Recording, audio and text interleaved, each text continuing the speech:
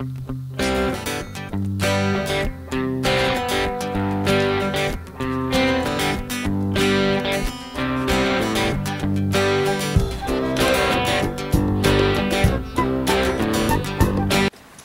thank you all for coming. It's a beautiful day, and I'm sure a lot of you would rather be outside raking, playing in the dirt, but, so I certainly appreciate everybody making the effort. So, um, a couple months ago, when we were trying to come up with what was, that was going to be our next uh, series, uh, we decided that the best is good, better, best.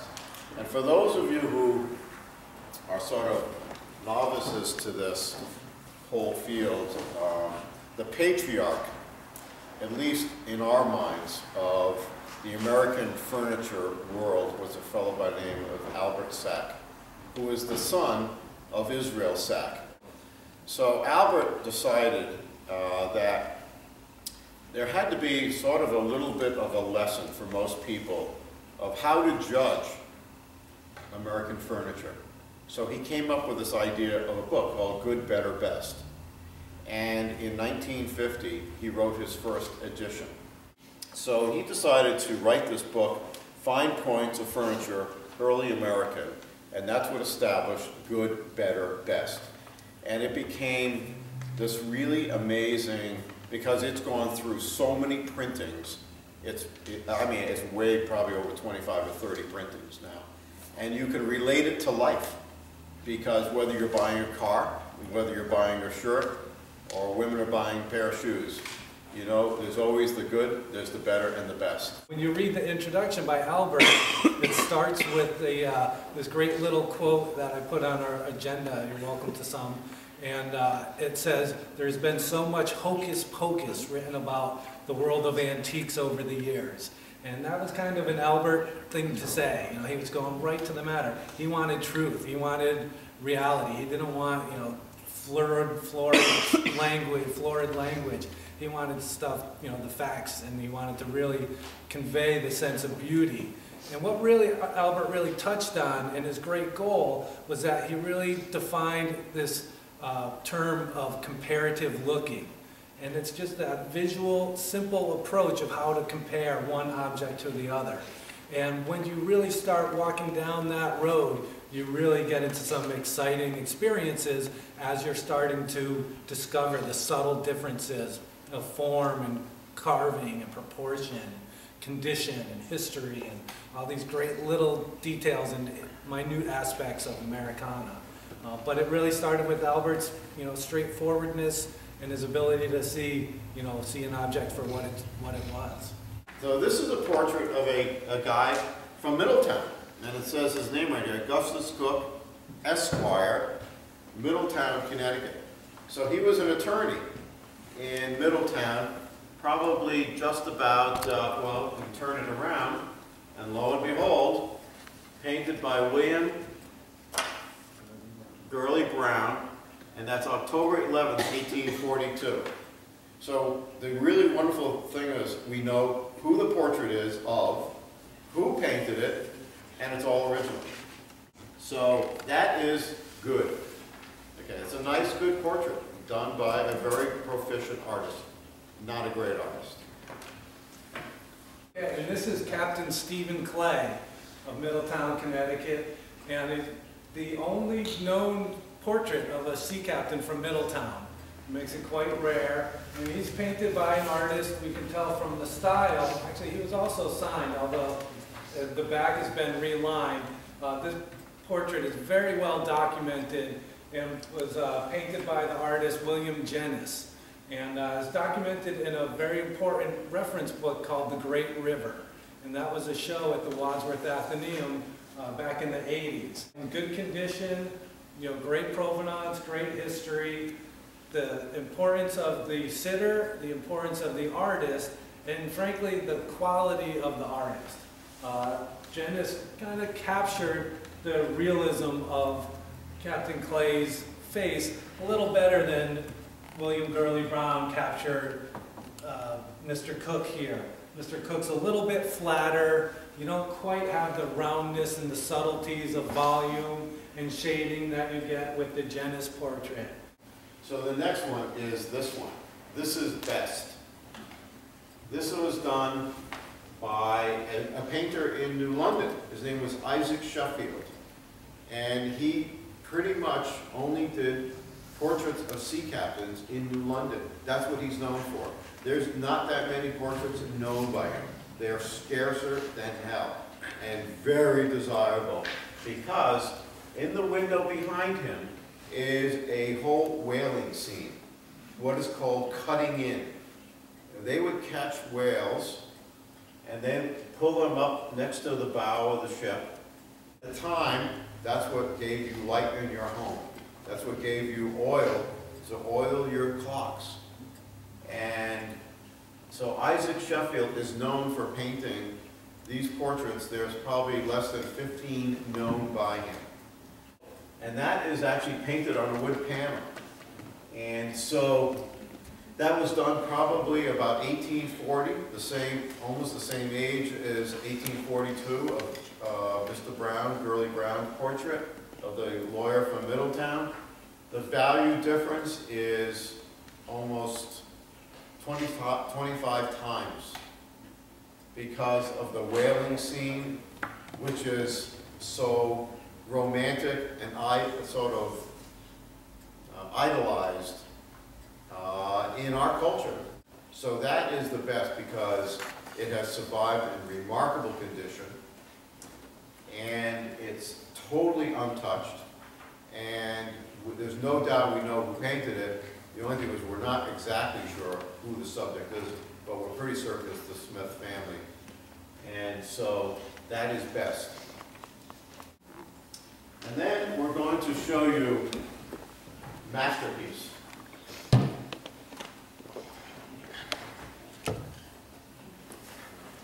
In the folk world, folk art world, uh, this particular artist is king right now. This was done by a fellow in Hampton, Connecticut, uh, which is up near, just past Willimantic, Connecticut. And that was done by, his name was John Brewster Jr. John Brewster Jr. was a deaf mute. And he was taught how to paint portraiture by a gentleman who did portraits in Hartford, uh, Reverend uh, Joseph Steward. So he teaches John Brewster Jr. how to do portraiture. Only there's something about John Brewster portraits that is so special that nobody seems to quite capture except maybe him. Maybe because he was a deaf mute. There's a lot, there's books written, there's a book written about him recently that he, he had, he captured the personality of the sitter so well that it's like he knew them and through his paintbrush, he could make you feel, you could look in their eyes. It's almost ethereal. It's amazing. And that's why John Brewster portraits are so highly sought after today. This one happens to be the earliest signed and dated one. She is a classic example of a New England lady with her bonnet and her beautiful turquoise dress, string of gold beads uh, from Hampton, Connecticut, farming town. Probably uh, he might have charged $10 for this portrait. But it has stood the test of time. In fact, it gets better. John Brewster was discovered as a folk artist probably in the early 50s. And I would guess that maybe there are maybe 150 portraits known by him. It's a very highly prized portrait. And we just thought it would be good to show you this today. A masterpiece of American folk art. It doesn't come any better. So this is a nice one. It was probably made around 1820. It has a, a really cool top, but the legs are a little provincial. And why do we have this in our inventory? Because it has wonderful wood on the top. It's very graceful. It's sort of charming in its own way. It has a draw. It accomplishes what they wanted. It has a beautiful old color. And not everybody can afford the great or the masterpiece. So this is a really nice example, and go ahead, Kev. You can talk about the next two. Great. The, uh, this stand in the center here has, of course, this real obvious, you know, bright headlight on the front is a Battersea enamel brass, and that's the original to the, to the table. Uh, very good condition, has a bird's eye maple drawer front, uh, figured maple top, uh, mahogany crossbanding, figured maple legs, like this really nice choice of wood, probably made in the Boston or North Shore area of Massachusetts. Um, I don't know if you're familiar with the workshop of John and Thomas Seymour of Boston, and they also used uh, Battersea enamel hardware on a few of their most important secretaries. Um, This we we haven't attributed to the Seymour shop, but it's certainly made by a cabinet maker working on the same level of, of their craftsmanship. Uh, And then again, that comparative looking, if you look at the subtleties of the swell, and the tapering of those legs compared to this, you know, straight, you know, interesting leg with an interesting turned foot. But what, more, how much more visually exciting is this wonderful gentle swell to the leg going down, you know, swelling out and then going down to taper to that nice uh, ankle ring, and then those kind of, again, swelled and tapered feet.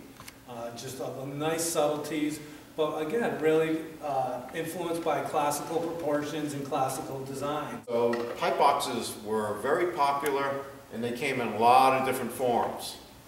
And so we have good, better, best, and masterpiece. This is probably the good. See how tall and slender it is? There, getting back to what I said about the models on the runway. You know, if it was, if you saw this one without those simulated draws, without all this, it would be sort of squatty and, but that one is very elegant, really wonderful design. And if you look at this, there's a bell on top. It's a sort of an interesting little design. Uh-huh. Yeah, There's, again, the form, which we stressed early on, which to us is the most important. The form of being really tall and elegant, the design at the top, the scrolling on the sides, and it's made out of mahogany. So that was an expensive little box when it was made. It's not, up- you know, uh, probably a little better than this one, but this one is local, it's cherry. This one is probably best, because look at the beautiful scrolling on the sides. It just had, it has an older color. It's, it's very similar to the other one, but look at, they used these little brass finials, and when they were shiny, it would be like little headlights up there. Just a little bit ele- more elegant. But then for the granddaddy, and this is where we're gonna end our talk, because this is one of the greatest icons of American furniture ever found. Um, That is um, uh, probably made in uh, Pomfret, Connecticut by a name, fellow by the name of David Goodale, who was a really amazingly good cabinet maker, looking, working up in this little town of Pomfret, Connecticut.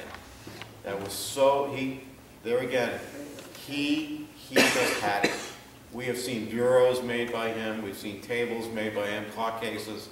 He just had it.